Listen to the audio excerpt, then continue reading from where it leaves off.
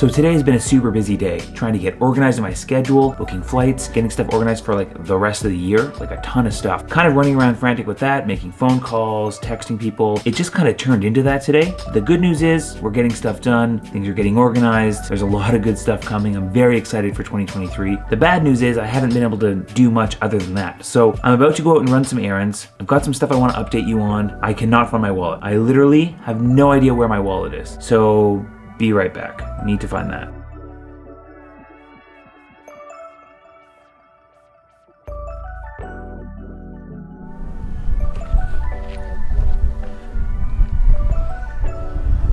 So the ski hill, that's where I learned to snowboard years ago. So I still haven't found my wallet and I have no idea where it is, so that's kind of a bummer. I'll have to make that a priority for today. Got a lot done, and so I wanted to update you briefly on that. One of my goals for this year is to run a marathon, as you know. I made an attempt to get a spot for the New York City Marathon. Unfortunately, I was unsuccessful in getting a lottery spot. Obviously, I have not run a marathon, so I'm not qualified to run New York City, but I love that city, so I really want to do it there. And so I've entered in to buy a spot at that race. And so hopefully that goes through. So basically what that means is I go through a tour company. They basically have a certain number of reserved spots. I'm able to race there um, as a result of that. So still trying for the New York City Marathon. If I don't do that one, I'm happy with any other marathon really. Probably the Toronto Waterfront Marathon is the one that I'll do. But um, yeah, I love New York City. So it'd be nice to go back and race there. The many paths to getting a spot. So the other kind of great piece of news is that the 10K swim that I'm doing later this year in Bermuda, I'm not going alone. So my friend Chris Cooper has signed up to do the race with me. So if you've been watching for a while, you know my one friend Chris, He's not the one that's going to be racing with me. Instead, my buddy from Manitoulin Island, Chris Cooper, he's going to be coming doing a 10K swim. Guy is a legend. He's never done that before. I don't think he's ever done a swim event before. He is diving in the deep end, literally.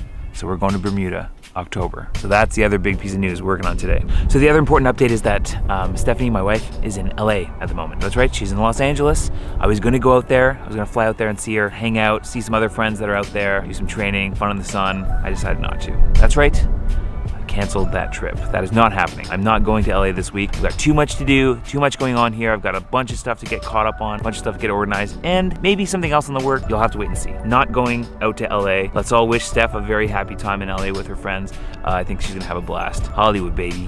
She'll fit right in. It's kind of amazing that even in small town, Northern Ontario, there's enough noise pollution to actually disturb filming. It's insane. You can't avoid it. Noise pollution, it's everywhere. Oh, so the other, oh, you know what? I forgot to eat lunch and I made something really nice. Beef and veggie penne for dinner last night, so there's lots of leftovers. you wanna see what I made? Check it out.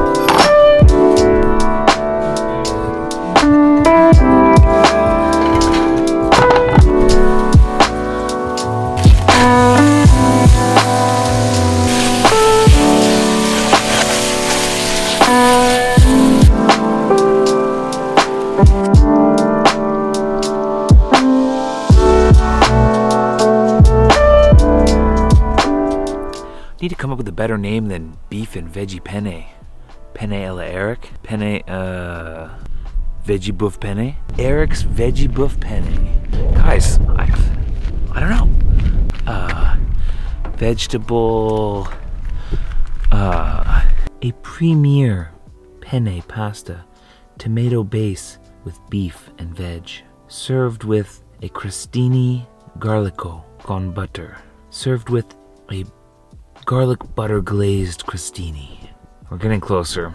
We're getting a lot closer. Premier penne pasta. Premier beef and veg penne with fresh bocconcini cheese. Anyways, I, I don't know. I got nothing. Guys, we've got to talk about this. There was literally an explosion here. Oh, my stuff is all over the place. And these cans. Oh my god.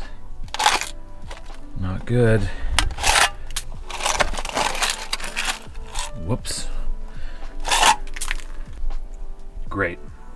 And just like that, the wallet is found. That only ate up like an hour.